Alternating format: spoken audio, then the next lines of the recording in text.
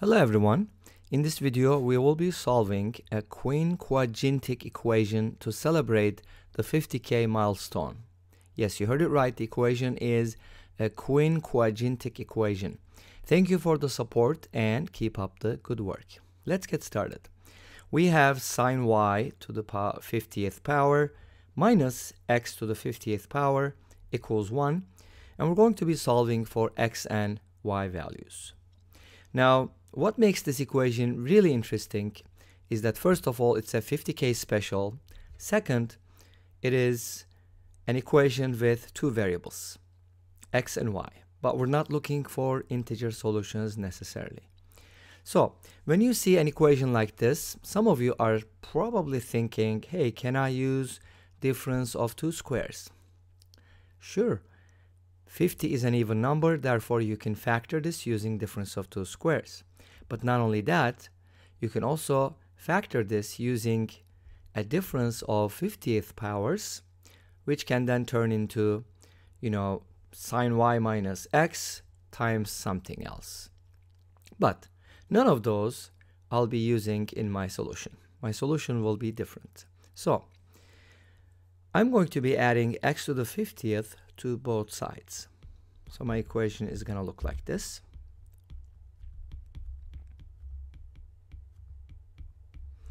Now, if you look at the right hand side carefully, you're going to notice that x to the 50th power, if x is a real number of course, cannot be negative, right? Because 50 is even. So we can safely say that x to the 50th is always greater than or equal to 0. By adding 1 to both sides of this inequality, you get that x to the 50th power, not 5th, x to the power 50 plus 1 is always greater than or equal to 1. In other words, this is going to be the minimum value for real x values. The minimum value for the right hand side is going to be 1. What about the left hand side? On the left hand side, we have a trigonometric function. So this is not only quinquagintic, but it is also trigonometric. So this is kind of like a quinquagintic trigonometric equation. Okay, that would probably be more uh, an interesting name, but anyways, I keep saying the word, so let me go ahead and write it down. Quinquagintic. All right, so that is the equation we have. On the left-hand side, we do have sine. And what do you know about the sine and cosine functions? They're bounded, right? So I can safely say that sine y is always, of course, if y is a real number. If not, then things get crazy. Sine of y is always going to be between negative 1 and 1 inclusive. But we don't have sine y, we have to raise this to the 50th power. But just like with sine squared, because 50 is even, when you raise this expression to the 50th power, you're going to get something that is not negative, right? So it's going to be greater or equal to 0 but at the same time it is going to be less than or equal to 1. Great. So now we got two inequalities. Let's go ahead and put those together. I got this one and this one. So one of the inequalities tells me that if you consider this equation, of course, one of the inequalities tells me that the left-hand side is less than or equal to 1, which means the maximum value for the left-hand side is 1. And the other inequality tells me that the greater, uh, the minimum value is 1.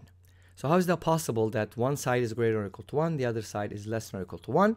The only way they can intersect is if they're both equal to 1. So these two inequalities imply two equations. First, sine y to the 50th power equals 1 and x to the power 50 plus 1 equals 1.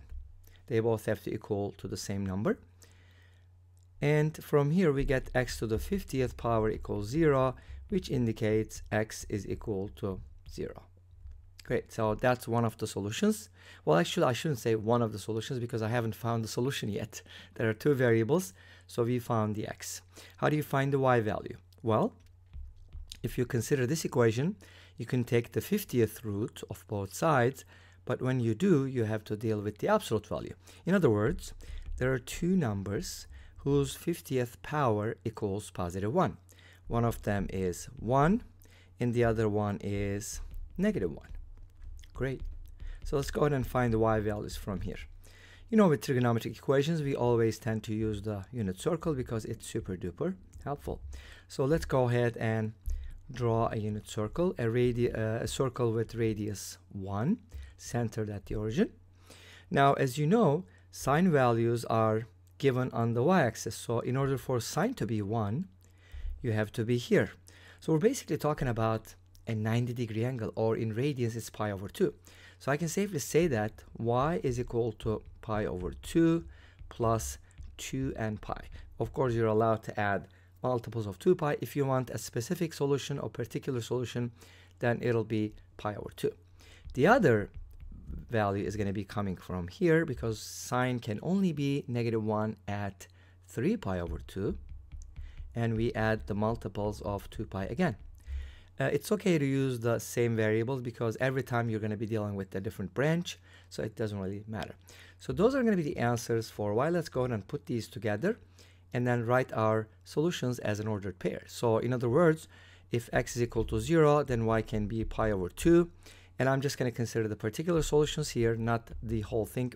Obviously, you can add multiples of 2 pi all the time. Or I'm going to be getting something like 3 pi over 2 when x is 0. Of course, x needs to be 0 first. The y is going to be 3 pi over 2. Therefore, between 0 and 2 pi, this equation has two solutions, and these are the solutions as an ordered pair. Well, thank you for watching. I hope you enjoyed it. Please let me know. Don't forget to comment, like, and subscribe. I'll see you tomorrow with another video. Until then, be safe, take care, and Bye bye.